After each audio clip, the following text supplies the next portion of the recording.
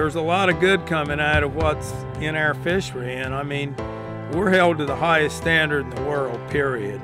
No, nobody else even comes close. The level of accountability for the commercial fishing industry, particularly in the U.S., we're like the poster child for other countries in the management of, of seafood. While I'm at sea, when I hit my hydraulics for the longline spool, that's when the cameras come on. We have vessel monitoring systems that's initiated once your hydraulic reel turns on. And the reason for that was further accountability of our harvest of bluefin tuna. It's reduced our discards by like 80%.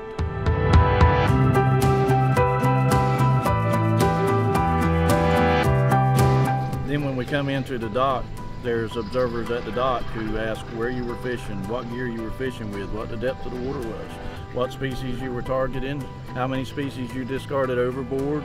Most of our species that we catch have annual catch limits. That means once you catch that annual amount that you can take out for that species, you're done. So the level of accountability, if you're eating domestic swordfish, big eye tuna, yellowfin tuna, or bluefin tuna, you can be assured that it's fully accountable for and it's also the most regulated. It's sustainable.